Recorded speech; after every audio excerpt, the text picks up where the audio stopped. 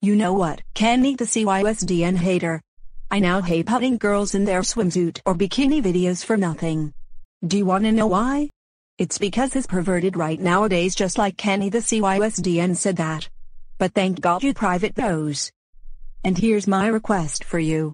Requests are in the description below. I hope you understand this message and accept Professor Red's request. Well anyways, that's all.